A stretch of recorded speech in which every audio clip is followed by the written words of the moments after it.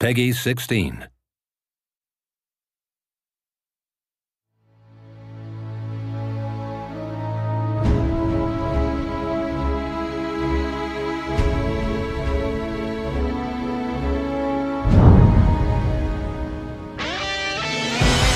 Begin the pursuit.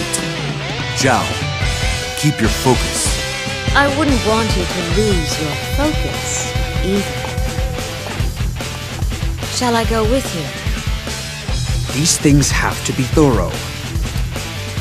In order for these fools to understand their place. Don't make that face. I'm more suited to this type of thing. If you are truly his son, then that is what you should have inherited from him.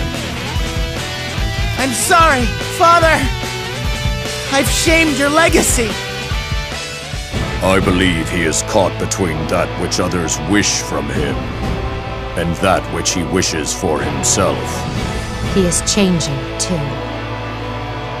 For better, or for worse. No need to get so depressed about it. We suffered losses, but we managed to escape. Isn't that enough? How is that enough? I have shamed my family name and failed to protect the people of this land. Emperor or not, he is just another fool. I refuse to bow my head to one such as him.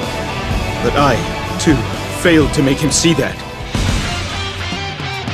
We must therefore hone our talents and mold this land into its rightful form.